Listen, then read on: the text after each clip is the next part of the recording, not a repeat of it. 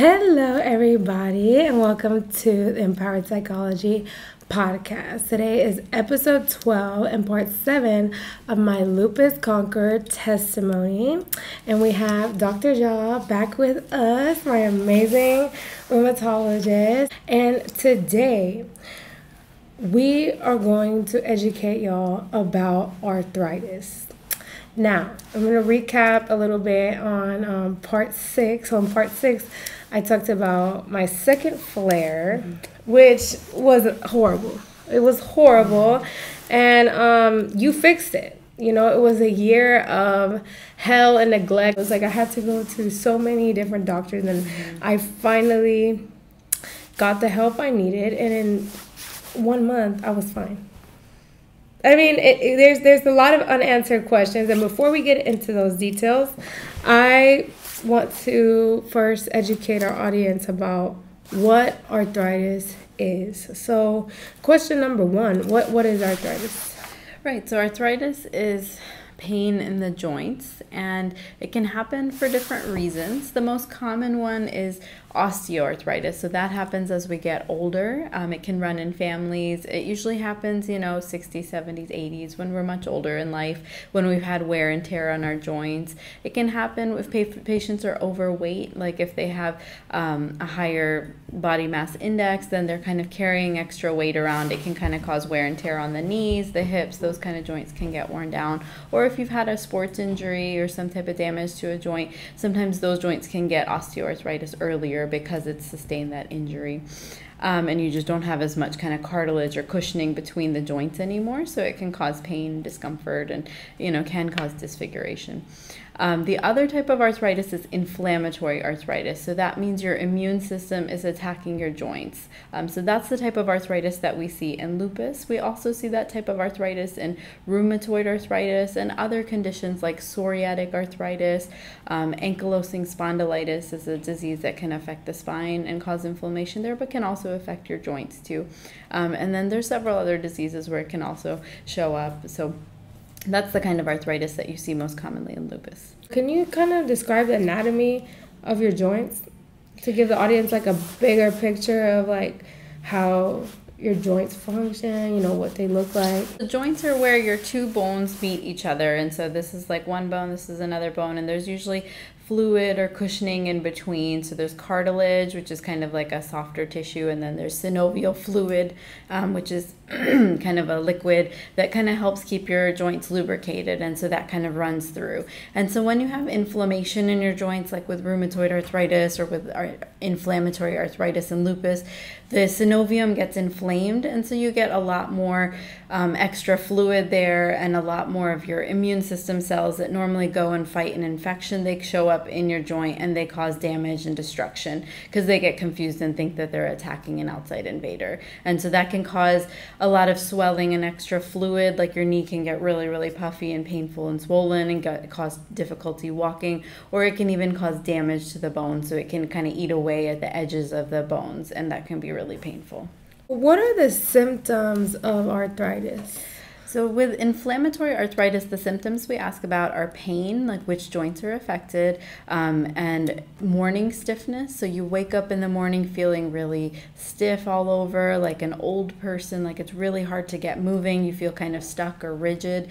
And then, as you get moving, um, it kind of improves. So, that rigidity or stiffness is kind of an important component of arthritis. And then, swelling of the joints is another important aspect that we look for on exam. And we also ask patients, a lot of patients patients will tell me that, oh, my rings don't fit anymore. I can't get them over my fingers because they're so swollen, or my feet are, my shoes are not fitting on my feet, those kind of things. What causes arthritis, and then why is it so common amongst lupus patients? Yeah, so basically, it's your immune system attacking the joints, causing that pain, stiffness, um, swelling, inflammation, and sometimes destruction. Uh, we don't completely know why you know it happens, but it's just a common manifestation. It's an area that the um, immune system you know kind of favors, and there's just certain parts like the synovium that it likes to attack. So now that we understand what arthritis is, what symptoms arthritis causes, and you know what may cause arthritis, um, in my opinion, and I could be wrong, um, but I feel like this is like the worst symptom for all lupus patients. Yeah, I, d- I definitely agree because it affects your quality of life. So you really are not able to kind of get dressed. You're not able to go exercise. You're not able to even just function on a day to day basis, opening jars, bottles. It affects everything. And living with pain is hard for anybody, and especially lupus patients are going through so much. And um, to add on pain, stiffness, swelling, you know, is really, really tough. And it affects every single movement, everything you're trying to do on your daily life. Yes, and it also impacts your sleep. Mm-hmm. Sometimes you can't even lay down. You can't even sleep. So, mm-hmm. I mean, it really just impacts your quality mm-hmm. of life. Um, so, I did some research. I I may be wrong, but I feel like you need this needs to be treated quickly, because um, I think I read that once the fluid like runs out, it's over, right? Um, basically, you know, that chronic inflammation can cause a lot of damage, and mm-hmm. the cartilage can wear, you know, from chronic inflammation. And so it's a good idea to be treated right away for that to help improve your pain as well as to help prevent damage to your joints. Um, lupus patients can sometimes get like tendons get really lax, and that can sometimes be irreversible. They usually don't have the level of destruction of the joints that you might see in rheumatoid arthritis. That can get really bad, um, but they can have kind of chronic deformities where their fingers are just not the same and their kind of their tendons are different and you know so damage can be done and can be irreversible. So that's why it's important to treat these things to help give you quality of life as well as to prevent long-term damage to the joints. To some joints can get kind of stuck in a certain way. You can't kind of bend them all the way and those kind of things. It can be really hard. Effects sometimes are reversible and sometimes aren't. So in my case um, it was bad. I mean, mm-hmm. it was it was bad. It was starting to affect my joints, but as you can see, it was reversible. So, like, when when does it get to a point where it isn't irreversible? Uh, it depends on what's going on, but basically, if people have long-standing inflammation or really aggressive disease that's been untreated, that can often lead to chronic damage. Um, usually, people who are without insurance, who haven't seen doctors, who haven't been on any treatment at all, those are the patients at higher risk. So, um, those are the ones we worry the most about. But it can happen to some patients if they're just not on the right treatment, or if you know there aren't enough treatment. Um, yeah. So yeah, guys, um, timing is super important, and also um, getting the right treatment. Um, so the golden question is: arthritis a treatable problem? Absolutely. Yes. yeah, we have a lot of options for treatment. Um, we definitely, you know, look at what is going on with the patient, try different treatments, see, you know, what is needed to help get them under better control. We usually start with prednisone or steroids to kind of calm things down quickly um, if patients can tolerate it. And then we'll try medications like disease modifying anti rheumatic drugs. So those are pill medications um, that can kind of tr- control arthritis. And if those are not working, then we go up to the biologic medicines, which are usually injections or infusions infusions, um, and those can often be pretty strong. They suppress the immune system, they get the inflammation under control, they help prevent your immune system from attacking the joints like they're doing. And sometimes we have to try one and then another if somebody is not responding the way we would expect. So it can be a little bit of trial and error just because every patient is so different.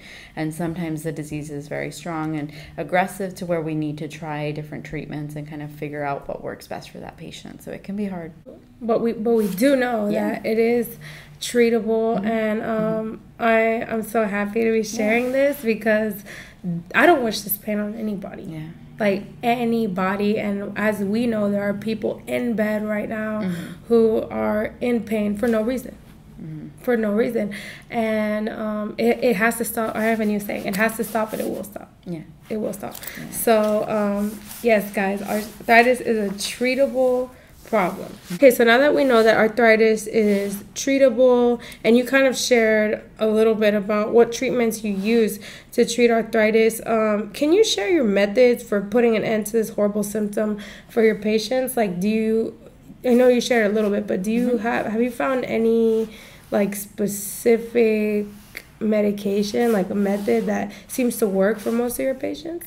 It's really individualized. I mean, we Wow. follow kind of the standard guidelines um, Mm-hmm. in terms of what medications we try first, which ones we try second, um, but it really can depend patient to patient. Um, so, yeah, usually we just start with the disease modifying anti rheumatic drugs, then we work up to the biologics, and then we try different biologics. And we usually go by, you know, what medications has the patient tried before? Did it work for them before? Is it worth kind of bringing it back?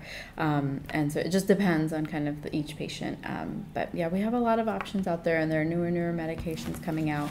Um, but yeah, some patients, you know, if they have very severe pain due to other reasons, they have like damage to their joints. Sometimes we don't get 100% results, and we have to work with pain specialists to kind of get people to where they have good quality of life. But many patients, we can get their inflammation under control and get their pain under control if we can get to them early enough and try different medications. So, Okay. Yeah. So it all depends on the person, mhm, yeah. which just kind of highlights how complex lupus is, you Mhm. know, and how, again, you're a genius because you kind of have to like figure things out because you have everyone. Everyone looks so different. So, guys, it's really important to have an amazing rheumatologist, and that kind of goes into my next question um, because as we know um, of course amazing doctors like you are going to do their jobs but we as patients have to do our jobs as well. So what are the ways patients can ensure they stay in remission uh, from arthritis Well, I think firstly, most important is you know take care of your health. Um, You know, eat healthy, exercise, get good restful sleep. Those are all really important aspects um, to just taking care of yourself on a day to day basis, and then seeing your doctor regularly, getting your labs checked, getting your um, physical exam. That way, we can make sure if your joints are doing well or not, um, because we check how many joints are swollen, how many are painful, um, and that's really important for us to know kind of how active your disease is, and we can only help treat you if we see you regularly. So usually I say every three months with my lupus patients. Sometimes we can go, you know, six months or a year if they're doing great, but usually we need labs about every three months just to make sure everything's okay. But it's different for every patient. We just gotta, you know, come up with a plan together and stay in touch if you have new symptoms. Okay, guys, so we just provided you with a basic overview of arthritis. Um, it's super complex. I was talking with Dr. Jha. There are so many different arthritis, and you know, I'm I'm sure you treat so many autoimmune diseases, and they all manifest in so many different ways. But the most important thing is that we know that um, there's treatment for this illness. So, based on you know my personal story, um, I just have a question for you, which you may not even have the answers, but I'm very confused about why your philosophy was so different and the other doctors. And the reason I want to bring this up is because there's people going through this right now who have bought into this lie.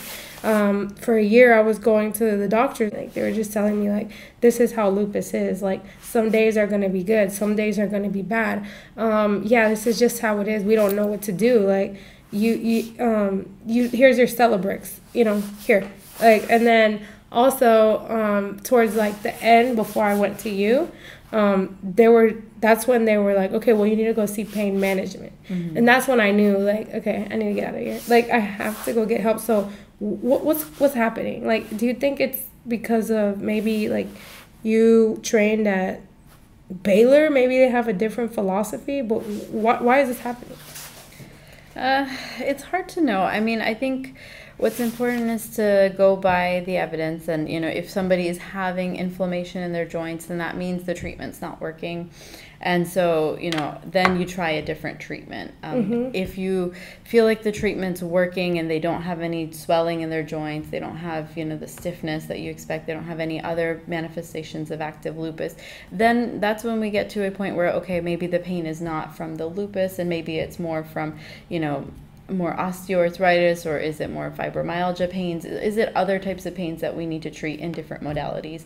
And so that's where it can be kind of tricky to kind of tease out the specifics. And so um, you know, that's the most important thing is just trying to figure out what is the root cause of the pain and then how do we treat that. And so that can, that's where we can differ at times that some people may think it's fibromyalgia pain when, you know, actually it was the lupus causing the pain. So we needed to go down that pathway. But, you know, it's, it's a journey and, you know, we don't always get it right on the first try, which is why we have to work together with, you know, our patients and say, is this treatment working well? Are we getting the results that we're hoping for or do we need to try a different path?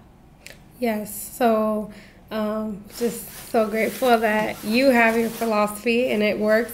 So, um, you know, I remember when I came to you. By by this point, I was fed up because I think I went to like seven doctors before you, and I remember like I told you in a nice way, you know, because I was just so hopeful. I was like, I finally like this is the one. This, I'm gonna get the help I need. Like I advocated for myself, and I told you, mm-hmm. um, Dr. John, I need to graduate. Mm-hmm. Like I, I need I need to live my life. Mm-hmm. I cannot live like this anymore. Mm-hmm um because i couldn't it just doesn't combat with my personality and even if you don't have a super outgoing personality nobody should have to experience this mm. and so i remember i was like dr i can't live like this and i like advocated for myself and like you you immediately like listened to me and you even the next day you know you call me and you're like this is what this is this is what that is i know i'm going to get a reply within like 24 hours so for the patients right now who are going through adversity, who are like the doctors are neglecting them. Like, how do you encourage people to advocate for themselves? You know, because you understand the healthcare system, you understand what patients are going through. So, how can someone who's in a bad situation right now, how can they advocate for themselves? Yeah, it's it's tough. Um, you definitely have to speak up. You definitely have to ask questions. You have to um, figure out the best way to communicate with your doctor, with their team of um, staff that they work with, um, and you know just if you're unhappy with your care, you get a second opinion. If you feel like um, things are not going well you know you just ask questions and you know discuss what's going on. And you know you can always switch to a different doctor if for some reason things are not going well. Um, but it's it's a team effort. Definitely you got to make sure you're on the same page and that you're meeting regularly and kind of figuring things out together and getting other specialists involved if ever you're needing it Yes. Yeah. But it's it's tough. It's really tough to be a patient. You have to speak up. You have to, you know, ask the right questions and figure out, you know, what are your priorities and yeah. Mm-hmm. yeah. So, um, sorry. So many Valentine's Day messages. Um, okay, so um, another thing I want to say, um, you're not crazy. Uh, I just want to say that uh, when you're experiencing these pains, uh, arthritis pains, um, it's real. If you're, you're, how are you? Don't let anyone tell you that you're crazy. Because how are you crazy if you can't even like get up and brush your hair? Like, how? Like, so don't let anybody ever tell you that. Um, stand firm in what you feel. And as you all can see, it took me seven times, but I finally got to the gem who saved my life. Like, I write five things I'm grateful for every day, and every day, like, I, I just write you because um, so I, I like.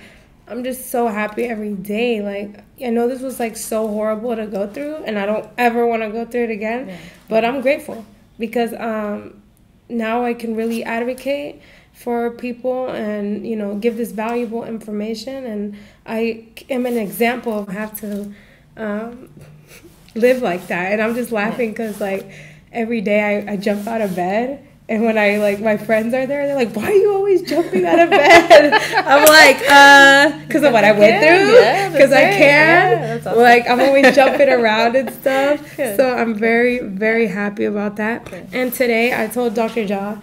Um, also, I want to just say this: you never know what people are going through. For a year, um, I was going through hell and nobody knew. Nobody knew. And like I'm usually very vocal, like about like to the people I love, like I don't have a problem telling them like, hey, something's happening to me, but there was just too many ups and downs. Like my flare was like there was no in between, Dr. Jha. was like one day I didn't have pain mm-hmm. and I would take advantage of that day and jump out of bed and go to mm-hmm. school, just do whatever. And then the days where I had pain, it was like, okay, I couldn't do anything. So I didn't really want to tell people because I was like, um, I don't know I don't know where I am, you know, mm-hmm. so why would I scare my friends? Mm-hmm. But I was in so much pain physically that I did not even notice my hair had fallen out. Mm. Like it wasn't until I saw you and then I graduated and I'm getting ready for graduation. I'm like, what happened to my hair? You know? So um, it was hard, y'all. It was really hard. Um, and speak up don't be afraid.